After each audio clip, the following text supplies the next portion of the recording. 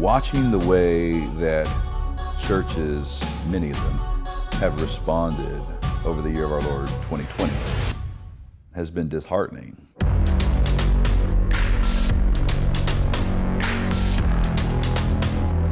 I believe that what we are seeing in America is the rise of a new religion. These challenges that we're living through right now, these are just kind of a preface to what is awaiting us as our culture continues to degenerate. You can't have right behaving without right believing. You can't worship God rightly if you don't know God rightly. The church has that responsibility. Take up the sword of the Spirit. We're to put on the breastplate of righteousness, and we're to stand against the schemes of the devil. The church is to be militant, and therefore we can't back down from what God has called us to do.